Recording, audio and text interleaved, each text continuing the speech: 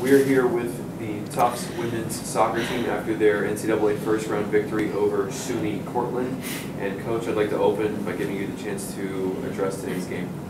Um, I thought actually we played well. We had a good first half, had a few hiccups toward the end of the half, and um, going into the second half, we we committed to doing all the little things right. You know, switching the field, playing good team defense, getting a lot of shots on goal, uh, and I thought that that second half, start to finish, was some of the best soccer I've seen us play all year. So it's a nice way to go into tomorrow.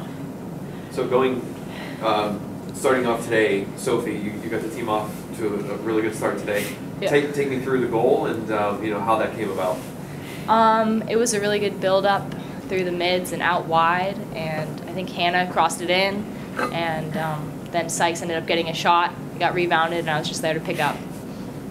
And, and Madeline, you gave the team lead in the second half. Um, you know how what did that mean? You know to put yourselves back up after Cortland came back and tied the score. Um, I think it was really nice validation of the effort that we had put in in the start of the second half. After coming off kind of a shaky end to the first half, it was nice to set the tone early in the second half and get us back on a roll. And coach, going into halftime after giving up a goal in the last minute of the first half, you know what what was the message at halftime?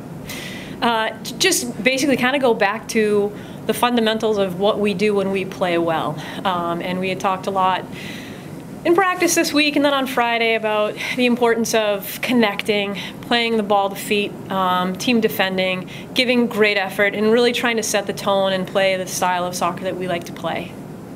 So going now into tomorrow, can you take this second half, strong second half, and, and take that into tomorrow, or is it just a you know a clean slate going into tomorrow's game? I think it's a little bit of both. I think it's a clean slate, but I think that um, you know it's so it's a new team and it's it's a new vibe. Uh, TCNJ is an extremely talented group, and, but I also feel like we can build off of this afternoon and uh, especially that second half where um, really 100% effort from everyone that played on the field, and I think it's nice to be able to build on that and take the confidence of finishing really strong into tomorrow.